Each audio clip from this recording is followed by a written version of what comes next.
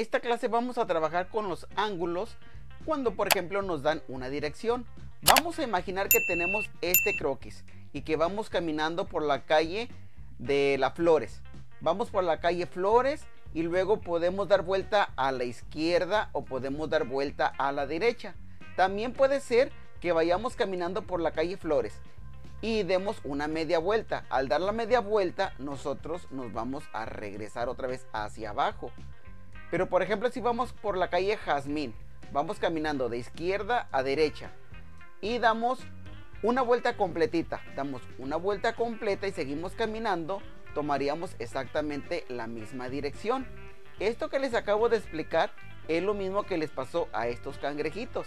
El primer cangrejito va caminando de norte a sur, o sea, de abajo hacia arriba. Y este cangrejo da un cuarto de vuelta a la derecha. Al dar un cuarto de vuelta a la derecha, él está formando un ángulo de 90 grados. Aquí se forma un ángulo recto, ¿verdad? Bueno, todos los ángulos que son rectos miden 90 grados. ¿Y cómo podemos medir los grados? Para eso necesitamos nuestro transportador. En las reglas nosotros decimos, mira, tiene un centímetro, dos centímetros. Bueno, el transportador no se mide en centímetros. Estos numeritos son grados. Por ejemplo, aquí tenemos 10 grados, 20, 30, 40, 50, 60, 70, 80 y 90. Aquí son 90 grados.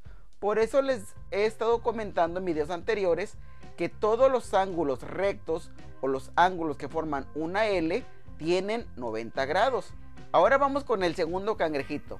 Este cangrejito va caminando de abajo hacia arriba y luego él da una media vuelta a la derecha. Como va caminando de abajo hacia arriba y da una media vuelta a la derecha, el cangrejo se va a regresar. Siempre que tenemos una línea recta, este ángulo va a medir 180 grados. Aquí lo podemos comprobar en nuestro transportador. Imagínense que va del punto 0 y viene en línea recta de, de derecha a izquierda. ¿Qué número tenemos aquí? Aquí tenemos el número 180. Quiere, quiere decir que él ha hecho aquí un ángulo de 180 grados. Ahora vamos con el siguiente. Este cangrejo va caminando de izquierda a derecha y da un cuarto de vuelta a la izquierda, o sea que va a subir. Aquí también, como puedes observar, tenemos un ángulo recto y este ángulo recto mide 90 grados.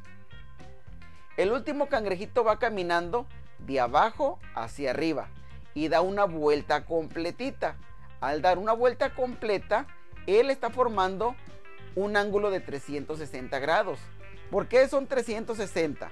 Porque él dio una vuelta completa. Al dar la vuelta completa, forma un ángulo de 360 grados. En ocasiones nosotros decimos, oye, pero, por ejemplo, aquí viene un círculo chiquito. ¿Cuánto mide este círculo chiquito en grados?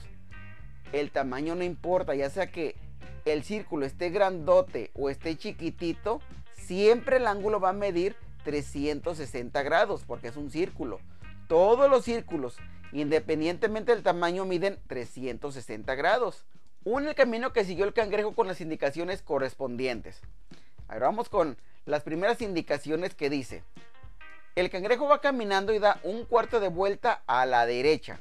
Aquí tenemos este, mira. Va caminando y da un cuarto de vuelta a la derecha. O sea, camina hacia arriba. Y aquí forma un ángulo de 90 grados. La siguiente indicación dice. El cangrejo va caminando y da media vuelta hacia la izquierda. Aquí va caminando el cangrejito. Va caminando de derecha a izquierda y luego gira a la izquierda media vuelta. Al girar media vuelta, este cangrejito se va a regresar. Vamos con la última indicación. El último cangrejito va caminando y da un cuarto de vuelta a la izquierda. Va caminando el cangrejito y da un cuarto de vuelta a la izquierda. Y también forma un ángulo de 90 grados. Dibujo en la cuadrícula el camino que se indica según el color. Vamos con el color amarillo.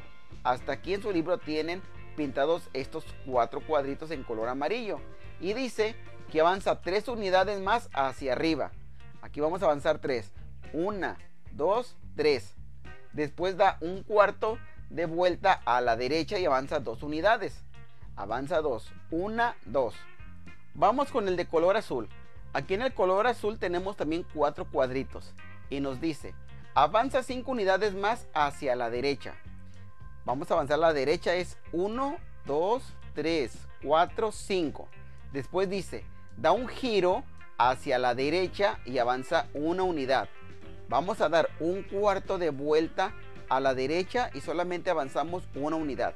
Aquí nos quedaríamos. Seguimos con el color morado. Aquí en el color morado tenemos 1, 2, 3, 4 cuadritos también pintados. Y dice, avanza una unidad más hacia arriba. Aquí tenemos uno hacia arriba y luego dice, da un cuarto de giro a la izquierda y avanza 6 unidades. Nos venimos a la izquierda y avanzamos 1, 2, 3, 4, 5, 6. Aquí se terminaría. Escribe un cuarto de vuelta, media vuelta o una vuelta completa según el giro. Y también vamos a decir si gira a la izquierda o a la derecha. Aquí miramos primero esta flechita, ¿verdad? Miramos que viene de arriba hacia abajo y luego da un giro a la izquierda, ¿verdad? Y ese giro es de media vuelta porque se está regresando.